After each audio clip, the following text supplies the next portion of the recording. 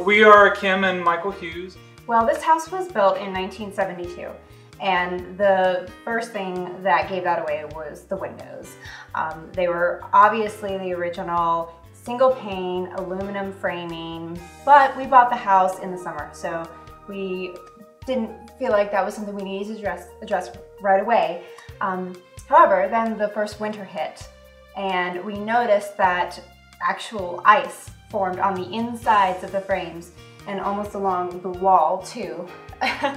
and realized that this is something that we need to fix sooner than later. We were tired of putting plastic up over the windows every winter, so. right, that was our solution. Um, nice to have some good but, windows. so we didn't have to put any money down up front. And it was very clear that we paid for the windows when we were happy and when they were finished and installed. And that was really unique. I haven't found that working with any other vendors before. So that gave me a real peace of mind.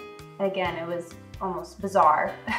working with Zen Windows was not like working with salespeople at all.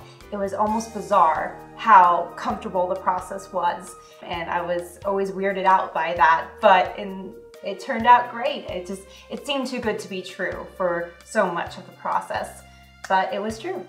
Hi, my name is Brad Blavitt. My company is Zen Windows Milwaukee, and I service the greater Milwaukee area. You're probably wanting to know, how much are the windows? Well, just check out my website or give me a call. We'll let you know in five minutes. How easy is that?